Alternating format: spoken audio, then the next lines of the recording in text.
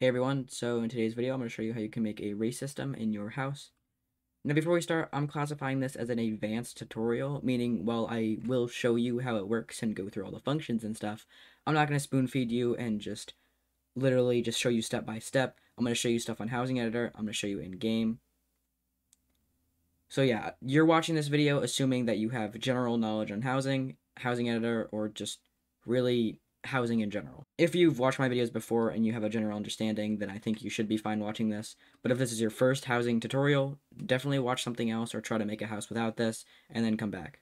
Anyways, we're just going to get started, so I'm going to show you what the race is. Basically, if you click on this, we'll join the queue. It'll say in queue 1 out of 25. There'll be a timer here. I have a pressure plate that just makes the timer go down to a very short amount. So now it'll just tick by faster and we can start and showcase to you faster.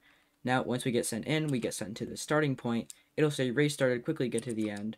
The race um, stats will say that the time start, or sorry, the overall timer is down to 9 seconds now. So we're going to quickly get to the end. It'll show you how many people finished it. We go in the end. Nice job. The race went when 5 people complete it, or the timer runs out. One person is finished, and there we go. The race ended, and we got a reward, the winner reward. I'm going to show you what happens now if the race starts and the player does not finish. So we're just going to skip to where the timer runs out. Okay, so the timer is just about to run out, and there we go. It says race over, and we don't get any rewards, but everything resets, so we can start the next race. So yeah, it's a relatively simple concept, but it is still relatively unique, as it does have like a queuing system and stuff. So I'm going to show you right now on how we can get started. So first, I'm just going to show you the, I guess, arena area. The NPC, we just have it trigger a function, which I'll show you in a second, just the join queue function. In the hologram above it, we just have some text, but we use the global stat race players and then out of, and I just put 25 because I'm I hard coded it to where if it's the max is 25, whatever. But we're using the global stat race players to show you how many people are currently queued. Here for the race stats, we use one variable for both the timer before it starts and the timer before the race ends. So we're just using stat.global slash race time. And then here is just a hologram so I can see the global playtime and player playtime that way. Because this um runs off of playtime, meaning stuff can trigger every minute. Or sorry, every second. Which just makes timers a bit smoother. As for the starting point, we just have a teleport, which I'll show you in a second. But down here we have a global stat that just is the amount finished, stat.global slash race finished. This will tell you how many people have finished the race. In here we have a region, so I'm just going to show you the region real quick. Race end, when you enter, we basically just check if race winner is equal to 0, meaning they haven't already gone in, and in race is equal to 1, meaning the player is currently in a race. Then we just play a sound, race finish increased by 1, race winner set 1, and send a little message in chat. Yeah, that's it for the region. I'm not going to showcase that too much on Housing Editor because I just showed you there. Next, I'm going to show you the functions. So go to house settings, go to functions. There is a playtime um, function here. Now this will, is the only one that'll be triggered inside of a poison loop. If you don't know what a poison loop is, then you don't know enough about housing. So please go watch my poison loop video and get used to housing before you watch this. In your poison loop, in the damage event, check of course if it's poison. If so, then cancel the event and trigger the function playtime. The playtime function is as follows. I'll have a housing editor link in the description. You can import it yourself. However, I'm just going to show you real quick. So basically we check if Unix is less than date.unix, meaning that the time has changed. Then we set Unix to the updated time. We increase the player stat seconds by 1. Same thing for minutes, except for... Oh, sorry, no. If seconds is greater than 60, then we just set seconds to 0 and set minutes to... We'll add 1 to minutes. Hours, pretty much the same thing. Minutes is greater than equal to 60, then minutes set 0, hours increased by 1. Now for the global section, we check if Unix is less than date.unix. Oh, this is for a global stat, by the way. Which, if it is, then we set Unix to the date.unix. Seconds increased by 1, just for other stuff. But this is also where we would trigger the race timer function, which I'll show you in a minute. Okay, so on to the functions. We have four. We have start race, end race, race timer, and join queue.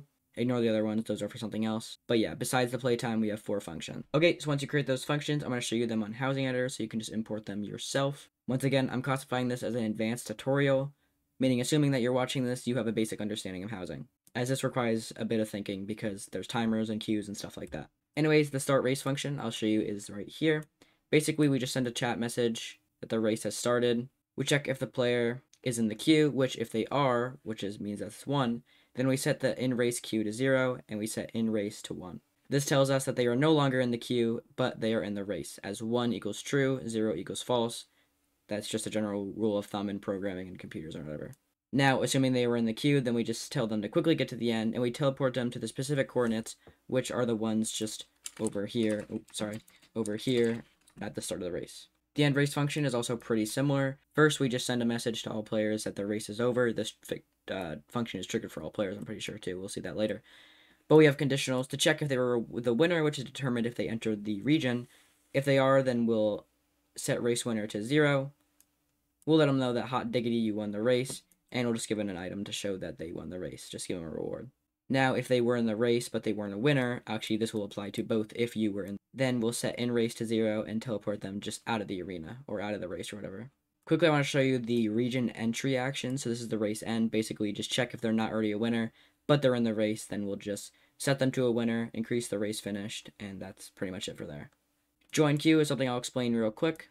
Basically, in the function join queue, we check if they are already in the if they are in the race, which if they are, exit to prevent any issues.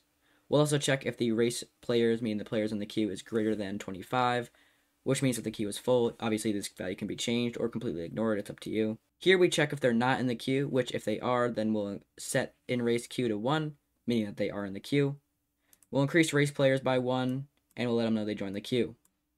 Otherwise, we'll set in race queue to 0, subtract 1 from race players, and let them know that they left the queue. So this part, I'm going to show you real quick. If we go to House Settings, Event Actions, the Quit event, we have some here. We have some things in here just to prevent any issues from people just kind of attempting to exploit it or just leave the house during the event, just so it doesn't break the house. Basically, we check if they were in the race when they left, which if they are, then set it to set that they aren't in the race anymore, and we'll also just subtract one from race players. And if they were in the queue, then that means that they should be set out of the queue and remove one from race players. Okay, so those are the main functions. I'm going to show you the race timer, which is the most complex here. I'm not going to go in and explain every one of these. If you want to do it yourself, you can click on this little question mark, and I try to have a little explanation on each of the conditionals. Here we just check if there's too many players, or if there's enough players finished, or basically whatever here.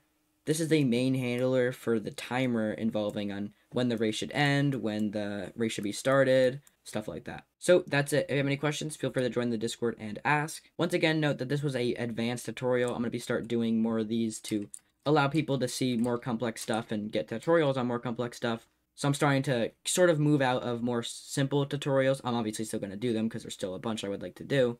But there's also a lot of advanced stuff that people are looking for that just would be really hard to explain. So I'm just classifying them as an advanced tutorial from now on. But yeah, I hope you enjoyed this video. I'm cool, interested to see what you do with this race event system, I guess. But yeah, I hope you enjoyed, and I'll see you in the next one.